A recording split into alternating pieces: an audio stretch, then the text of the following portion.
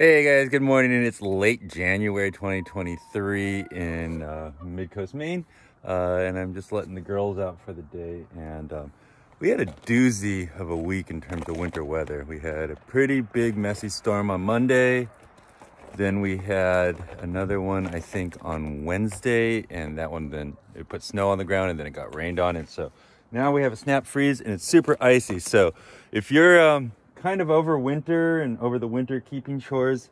Yeah, I'm, with you on that. Uh, this is the most intense time of year with chickens, and I wanted to talk about the idea of rethinking uh, chicken math and the biggest myth in chicken keeping that I've figured out over the last like five or six years. And um, rethinking chicken math is basically I wanted to talk about this idea. Actually, another keeper of a different type of animals, he um, has this thing that says choosing to keep fewer animals in upgraded enclosures benefits both the keeper and the kept. And basically, that's the idea that um, in all animal keeping, there's this momentum and almost pressure or drive to acquire large uh, numbers of animals.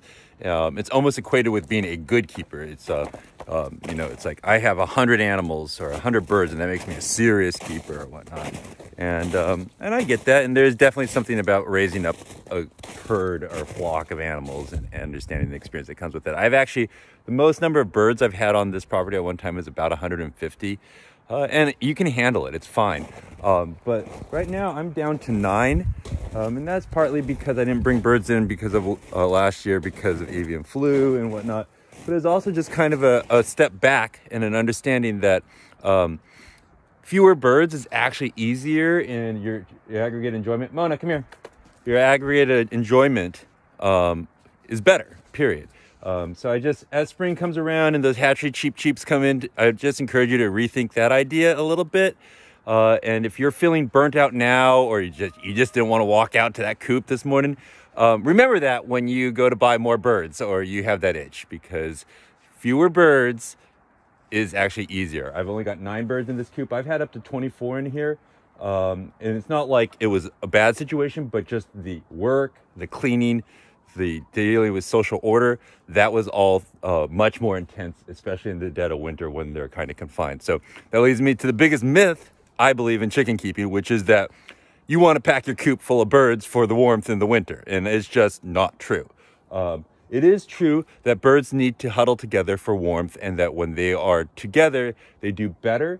Um, if you have a bird that is socially ostracized or ill and it, it can't roost, it's going to do worse. Um, I have a bird in here that I think is doing poorly and it's down on the ground because uh, it can't roost. And um, that's not as good as if it could roost with the other birds.